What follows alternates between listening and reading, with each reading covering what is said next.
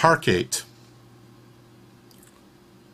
Harkate ask why uh, why was why was Brett Keane irredeemable? In the normal run of the mill of life, everyone gets a second chance and the chance to, to atone. Why was Brett different? Okay. um, one of the reasons I'm on YouTube is to learn to talk better.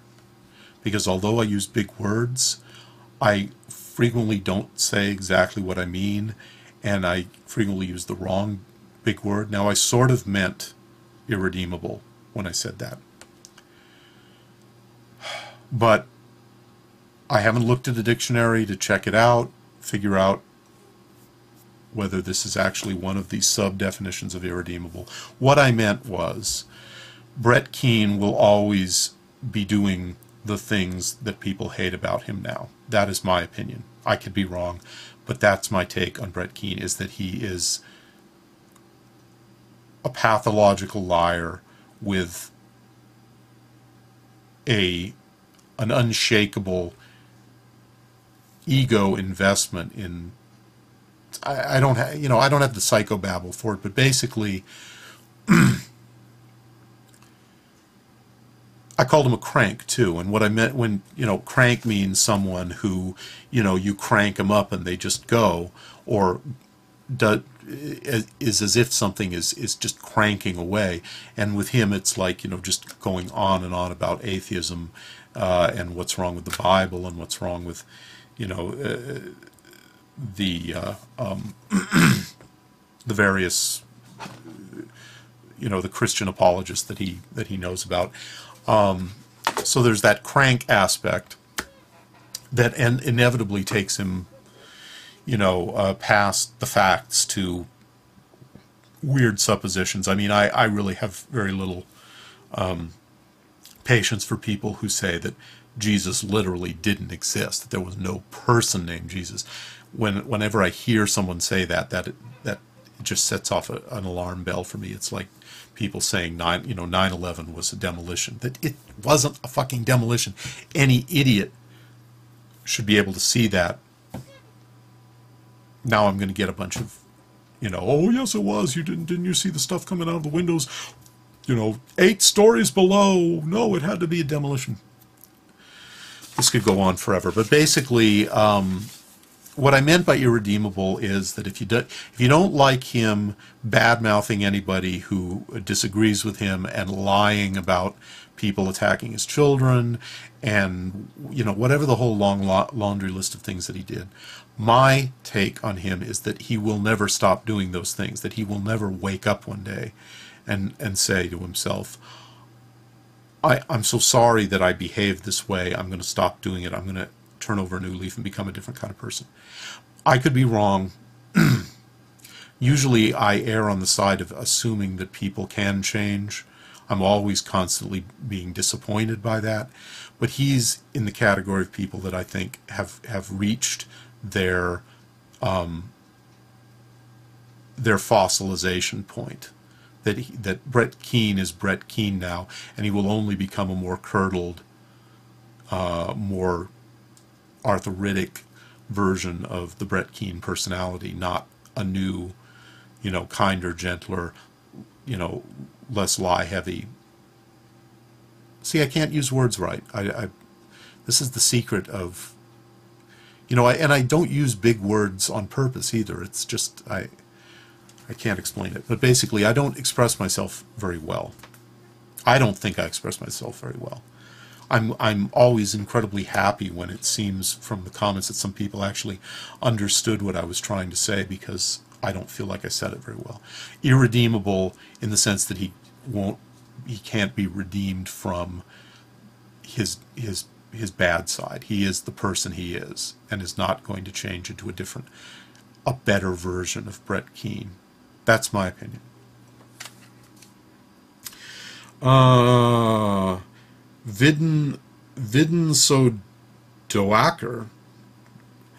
I bet there's a way to say that that is really funny, and I can't think of it.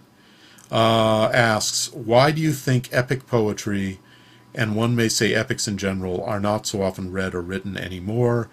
That's part one. And part two is Do you find it annoying that what some people call modern poetry consists of prose, but hitting the enter key at random points in the lines? What happened to rhyme and or meter and epic similes? yeah, I'm not. I I have I discovered my love for reciting poetry here on YouTube before I started reciting some poetry here on YouTube, I didn't really think I could do it. Uh, and I do it, I, I'm actually kind of semi pleased, although I have a narrow range in which I can read a poem well. There are a lot of poems that I would love to read that I know I couldn't read well.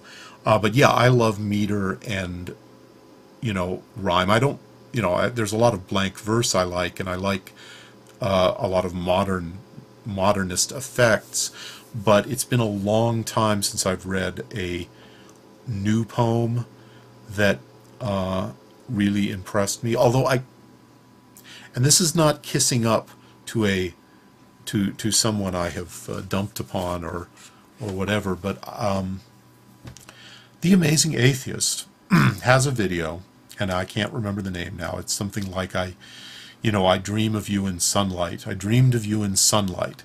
It's a fucking fantastic poem that he wrote. It's a really good poem.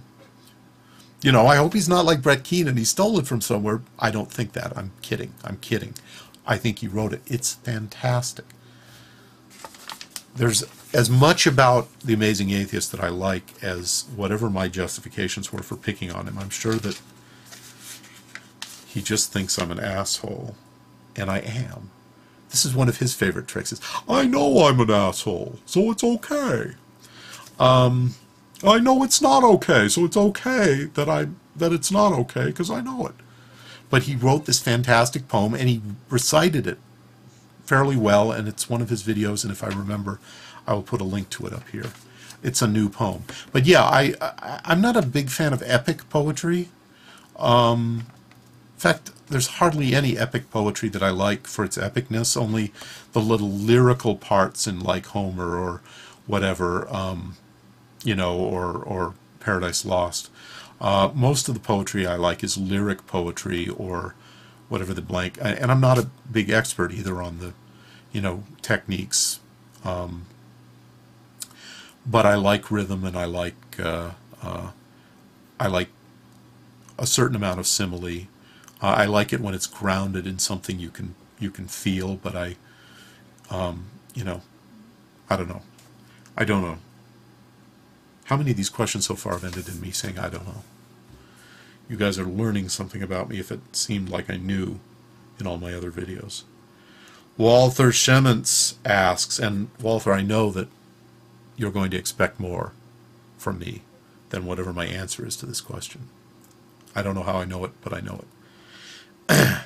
if you had a hundred million dollars, let's stop right there before I've read the rest of this. If I had a hundred million dollars, I'd do whatever the fuck I want, and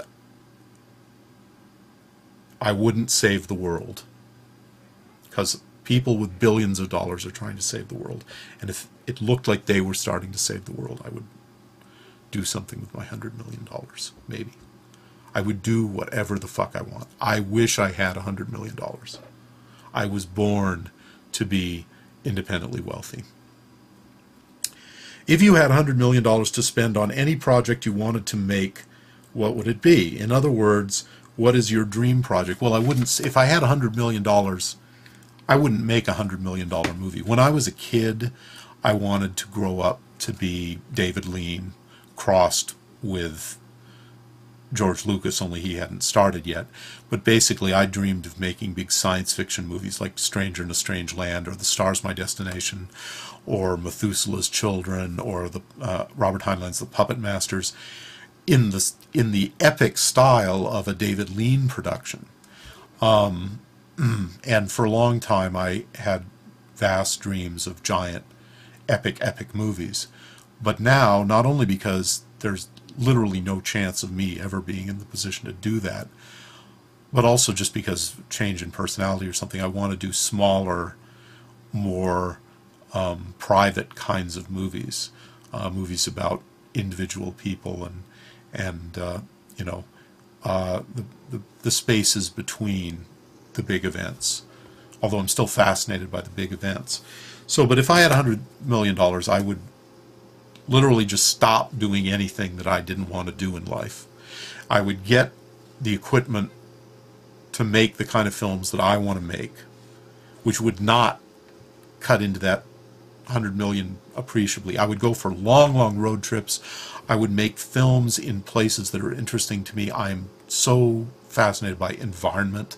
Environment is the thing for me. I would go to real places. I wouldn't make I wouldn't make fake simulated movies, you know. At some point I got to get some of my actual short films up here and there are reasons why they why I haven't put them up yet, but um, some point I hope hope to do that. Uh, anyway, so the 100 million would be for me, and some very small portion of it would be more than enough to allow me to spend my entire life, m- the rest of my life, whatever I've got left, making the kind of movies that I would want to make on the smallest budgets that would be possible for them. I know that doesn't really answer your question, but uh, I, I'm more and more aware how many. Oh, oh, I'm almost to the end. Okay. This is going to go long. It's going to have to be a two-parter. Uh, Weasler17 asks, to what extent has atheism made a positive impact on your life? Has it had any negative? It has had, atheism itself has had no negative impact on me whatsoever, except for the kind of horrified surprise that I have felt frequently when seeing what's on the minds of a lot of YouTube atheists because up until I got onto YouTube, I had never really encountered a lot of atheists who I knew were atheists. What I I grew up in in circumstances where um, I can't ever remember not being an atheist, and I assumed that any intelligent person around me was an atheist unless they just flat out said, you know, I'm not. Um, so it's had no real, it's had no negative impact, except just, you know, the fury that hits you when people with really stupid ideas, theistic ideas, get out there and and uh, remake the world uh, on the basis of those ideas. Um, that, you know, that kind of pain, uh, seeing that happen is the only negative side. The positive side, yeah. Um, has it had a positive effect?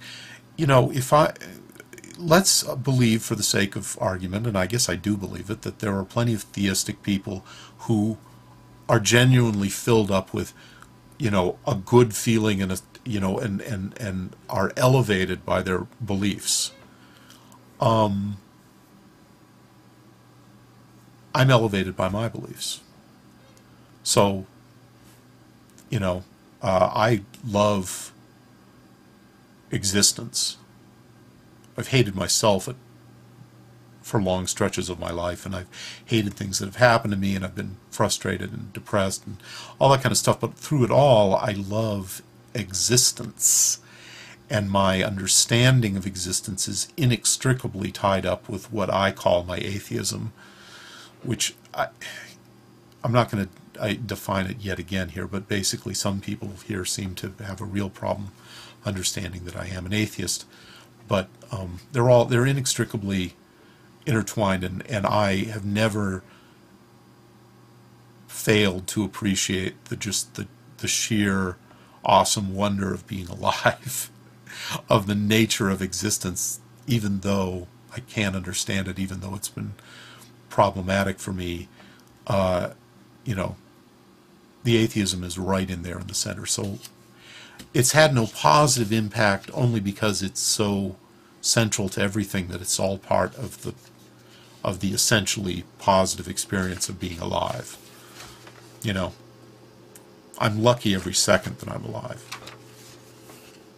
And I'm an atheist, so what does that come to? Ambrose Bierce Esquire asks, What's your IQ? I don't know, and I don't ever remember taking an IQ test. if I ever took one, um,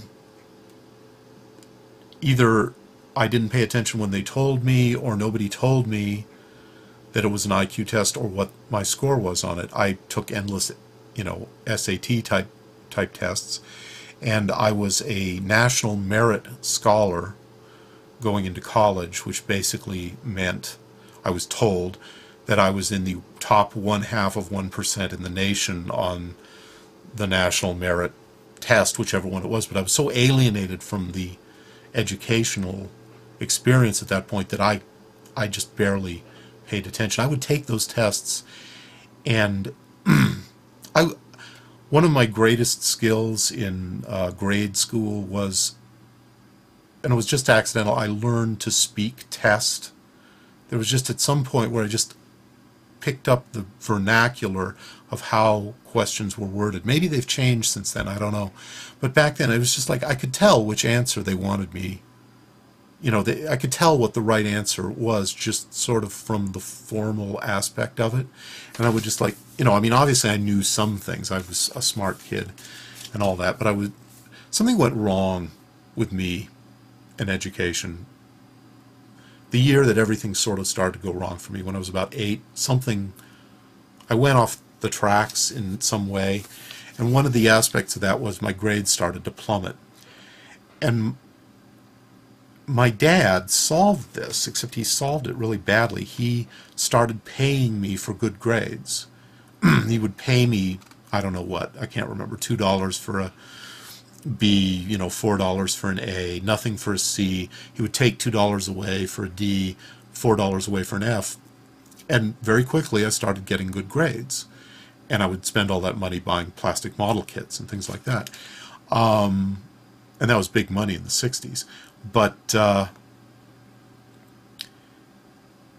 the result was I learned how to be ostensibly a good student with as little involvement in school as possible because I hated, hated school, hated education, and every almost everything that I can that I feel like I know, I've learned on my own, and the only things that I've picked up from school have been sort of by accident, things that teachers said as asides or other students said.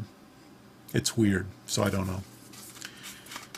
And and whatever my IQ may have been in the past, I you know, IQ is, is, or whatever IQ measures is like, um, you know, potential athletic ability. You know, if if uh, Michael Jordan had uh, um, just you know sat down behind a desk at 12 and and started putting on weight and never played basketball in his life, it doesn't matter how perfectly suited he was to being you know, one of the greatest basketball players of all time if he didn't put any effort into it and in fact went the other way. Um, it uh, it doesn't matter how suited he might have been for it. And similarly, you know, there was a time in my life where I would be the guy that they, um, you know, they called up to the blackboard to explain the math problem, but I wasn't interested in math or I was against math for some reason. Both my parents were mathematicians. Um, and so I never got above trigonometry. And right now I couldn't tell you what trigonometry is. I don't even, I can't even define it. I don't even remember. I'm sure I remember some trigonometry somewhere if you hit the right button. So that's enough about IQ. Uh, talk to uh, talk to Exile. I'm an, I'm a terrible snob. I'm trying to hide it by making ultra low budget horror movies like Night of the Living Dead 3D, but I'm a terrible snob, which has something to do with IQ. David Pearson asks, "What do you think of Fulci's zombie flicks?" I don't partic- I, I I only saw parts of them in passing. I'm not a big fan of Italian horror. I like some Mario Bava, but most of it just doesn't really appeal to me. And the zombies that I like are sort of um, it's a very narrow band of you know the the Romero zombies, Dan O'Bannon's uh, Return of the Living Dead, um, and uh, I Am Legend isn't, they're actually vampires, not zombies, but it's sort of that same feeling. Uh, the Omega Man, they're not zombies, they're crazy religious fanatics, albino religious fanatics, but still, it's a, it's a small band of zombie films that I like. I don't just like any old zombie film. Fulci zombies, haven't really seen that many of them. Uh, Blitz Chick 12, the last question before I close comments. I have a few. Do you believe there is a real difference between love and in love? No, I don't even know. Well, wait, let me get through all the questions first. And do you believe that the bonds of family are stronger than those bonds between unrelated people? Do you put family before friends? Um, love, in love, I don't know what the difference is. Uh, I'm not even really sure.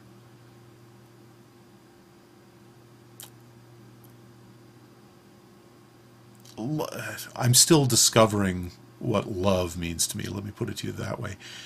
Uh, when I was younger, I had a lot of romantic obsessions, which I were, was convinced were love. But when I look back at them now, uh, the love component, I, it, uh, I, it, it seems utterly meaningless to me. Um, it was it was more about me desperately trying to fill up something that was missing in my life with a fantasy that I only half understood, and the parts of it that might qualify as love, I, I, I just I can't extract um, from something that I think of as neurotic now. Uh, family love has grown on me as the years have gone by. I, um, in my life, I'm kind of the wrong person to ask, you know, because um, I'm really, I'm a little bit, I'm a little bit like Wolf Boy, you know, kids raised by wolves. Somehow I, there was some aspect of socialization that I missed, and uh, so I sort of compensate for it. I have a very, I have a very warm feeling for people at a distance. When they want to interact with me directly, it starts to fall apart, and I just begin to feel more and more kind of put upon and and not up to the task of giving them whatever they want, which is why I have a cat and not a dog. Um, if you know what I mean. I'm not the person to ask. I don't know. Uh, I do I put family before friends? Well, no. I I put they all go together for me. They're all equally as close to me as anybody is. Uh, they're clo- they're you know I I value my family and my very very few friends. How close I feel to them is a kind of a complicated complicated question. And on that sort of ambiguous and anticlimactic note, I'm going to see how long I've been recording and how many pieces I have to cut this up into. The end.